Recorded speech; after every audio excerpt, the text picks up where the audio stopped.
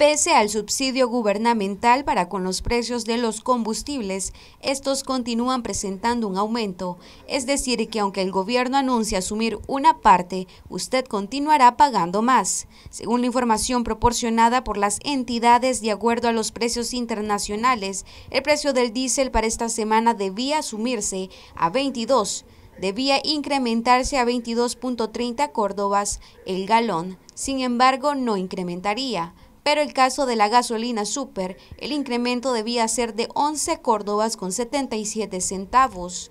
El gobierno decidió asumir 6 córdobas con 77, es decir, el 57.5%, y los nicaragüenses, de manera directa, asumirán 5 córdobas por galón.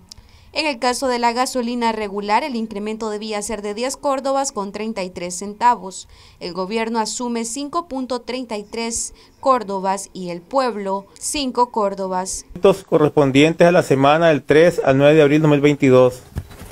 De acuerdo a los precios internacionales, el precio del diésel para la semana siguiente debería incrementarse en 22.30 córdobas por galón. Sin embargo, nuestro gobierno ha decidido que no se incremente dicho precio y asumir el 100% de dicho incremento. En el caso de la gasolina super, el incremento debería ser de 11.77 por galón. Sin embargo, nuestro gobierno ha decidido asumir 6.77 córdobas por galón de este incremento, es decir, asumir el 57.5%. En el caso de la gasolina regular, el incremento debería ser de 10.33 por galón sin embargo, nuestro gobierno ha decidido asumir 5.33 por galón, es decir, el 52% de dicho incremento.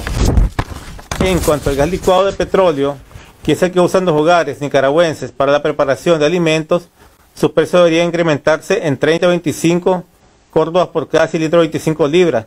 Sin embargo, nuestro gobierno ha decidido asumir el 100% de este incremento, de manera que el gas licuado de petróleo no tendrá ningún cambio en su precio para las presentaciones de 10 libras, 25 libras y 100 libras. Estos incrementos no se habían presentado con anterioridad.